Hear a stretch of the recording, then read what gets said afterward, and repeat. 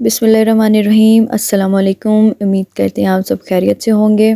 तो आज मैं आपके लिए बहुत ही मज़े की रेसिपी लेकर आई हूँ। तो आज हम बनाने वाले हैं समोसे और कचौरी, ठीक है? तो मैं आपको इस वीडियो में बहुत ही आसान तरीके बहुत ही आसान तरीके से मैं आपको आज बताने वाली हूँ। तो चलिए हम अपनी वीडियो को जल्दी से स्टार्ट करते हैं। तो मैंने कुछ स्मॉल साइज़ के आलू ले लिए हैं, उनको मैंने पील ऑफ़ कर लिया है, ठीक है? हम इनको अच्छे से वॉश करेंगे, ठीक है? और इनको बॉईल करने के लिए हम रख देंगे। इसमें हसबे ज़ायका हम नमक ऐड करेंगे। देखिए, यहाँ हमारे आलू बॉयल हो रहे हैं। हाफ़ के जी हमने मैदा लिया है, ठीक है? और हमने हसबे ज़ायका नमक लिया है और हाफ़ टी स्पून हमने ज़ीरा लिया है, हाफ़ टी स्पून ही हमने अजवाइन ली है और पाँच टेबल स्पून हमने घी घी लिया है और हाफ़ ग्लास पानी का। हम अपने ज़ीरा, अजवाइन और नमक को इसमें मिक्स कर देंगे अच्छे से, जैसे कि आप वीडियो में देख रहे हैं, ठीक है? तो अब हम अपनी डो को गूंदा स्टार्ट करेंगे।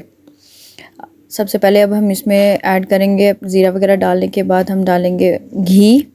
ठीक है? इससे आपके कचौरी समोसे बहुत ही मज़े के बनेंगे, ठीक है? क्रंची से बनेंगे।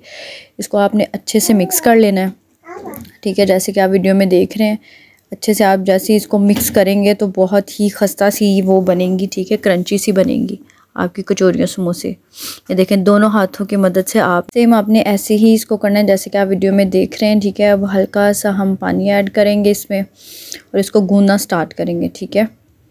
थोड़ा थोड़ा सा पानी लेंगे और इसको मिक्स करते जाएँगे। इसको हमने आटे की तरह नहीं, हमने गूंदना, ठीक है? थोड़ा थोड़ा सा पानी डालते जाएँगे और इसको मिक्स करते जाएँगे, ठीक है?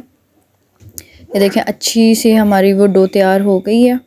तो अब हम अपनी डो को आधे घंटे के लिए ऐसे छोड़ देंगे। दूसरी साइड पे हमारे आलू भी बॉयल हो चुके हैं। ये देखें, कितने अच्छे से बॉयल हो गए अब हम इनको निकाल लेंगे। ठीक है, अब हम इनको निकाल कर कुछ देर के लिए हम फ्रीज़र में रखेंगे। ताकि ये बहुत अच्छे से वो ठंडे हो जाएँ, ताकि अच्छे से हम इनकी कटिंग कर सकें। यहाँ पे ये ठंडे हो गए थे और देखें मैंने कितनी अच्छे से इसकी कटिंग तो चलिए अब हम अपने स्पाइसेस रेडी कर लेते हैं। ये वही स्पाइसेस हैं जो मैं नॉर्मली यूज़ करती हूँ, ठीक है?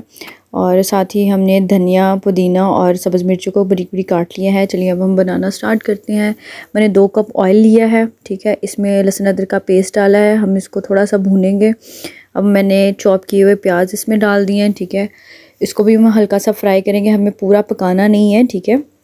लेकिन इतना पकाना है कि इसका कच्चापन ख़त्म हो जाए, ठीक है? जैसे कि आप वीडियो में देख रहे हैं, ये देखें, हमें सिर्फ़ ऐसा ही प्याज चाहिए, ना ज़्यादा ब्राउन ना ही ज़्यादा वो कच्चा हो, ठीक है? अब हम इसमें अपने स्पाइसेस ऐड करेंगे, ठीक है? चलिए जी, ये हमारे सारे स्पाइसेस आ गए हैं। अब हम अपने स्पाइसेस ऐड करेंगे इसमें। अब हम साथ ही इसमें हल्का सा पानी ऐड करेंगे ताकि हमारे स्पाइसेस जले नहीं, ठीक है? थोड़ा सा हम पानी डालेंगे, अब इसको अच्छे से मिक्स कर लेंगे। और दो से तीन मिनट के लिए हम इसको मज़ीद पकाएँगे, ठीक है?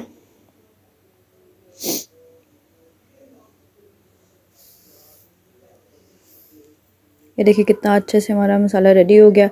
अब हम इसमें जो हमने चॉप किए हुए आलू थे, अब वो डाल दिए, ठीक है? अब हम इसको अच्छे से मिक्स कर लेंगे।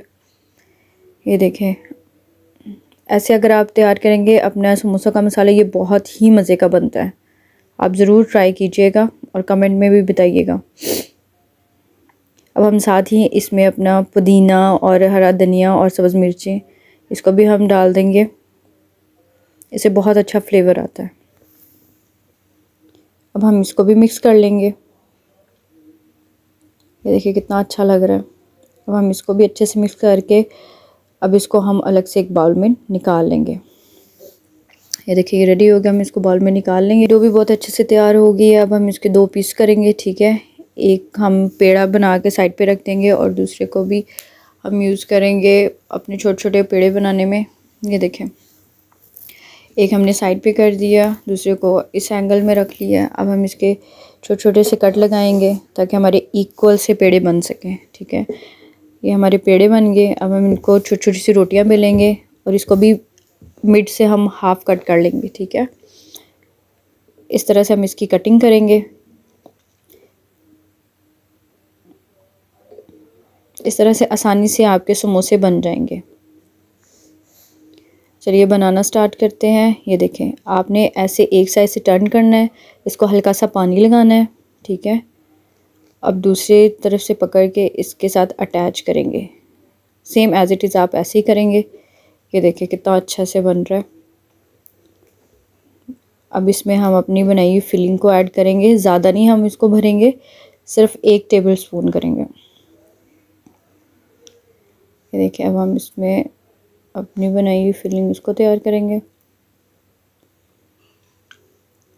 इसी तरह इसके एजेस के ऊपर भी हम पानी लगाएँगे ताकि ये अच्छे से बंद हो जाए, ठीक है? ये देखिए, अब हम इसको पकड़ के अच्छे से प्रेस करेंगे। ये देखें ताकि ये समोसा खुले नहीं। इस तरह से देखिए कितना अच्छा हमारा समोसा तैयार हो गया है। इसको आप फ्रीज़ भी कर सकते हैं। ये देखिए सारे हमारे समोसे हमने इस शेप में हमने सारे रेडी कर लिए हैं। इसको हमने एक डिस्पोजेबल लिया बॉक्स लिया, ठीक है? उसमें हमने इस तरह से इसकी लेयर लगाई है, ठीक है? अब हम इसको फ्रीज़ कर लेंगे और जब आपका दिल करे, आप इसको फ्राई करके इंजॉय कर सकते हैं। आपकी अपनी चॉइस होती है, आप समोसा शेप भी दे सकते हैं, अपनी मर्ज़ी से डिफरेंट शेप दे सकते हैं। मैंने कचोरी की शेप दी है, ये देखिए कितनी अच्छी लग रही है। अभी हम इसको फ्राई करेंगे। ये देखिए हमारा ऑयल हीट हो गया, अब हम इसमें एक एक करके अपनी कचोरियाँ डालेंगे। ये सिर्फ़ हमने ट्राई की थी कि कैसी बनती है, लेकिन आप बिलीव नहीं करेंगे, ये बहुत बहुत मज़े की बनी थी। आप ज़रूर ट्राई कीजिएगा और हमें प्लीज़ बताइएगा, ठीक है?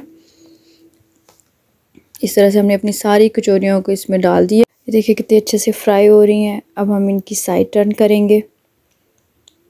एक एक करके हम इसकी साइड चेंज करते जाएँगे। क्योंकि हमने ना ही तो इनको ज़्यादा ब्राउन करना है, ठीक है? ये ना हमारी कचौरियाँ जल जाएँ तो बस आहिस्ता आहिस्ता से हम इसको टर्न करेंगे। इतना खूबसूरत सा कलर आ गया माशाल्लाह से। अब हम इनको निकालेंगे।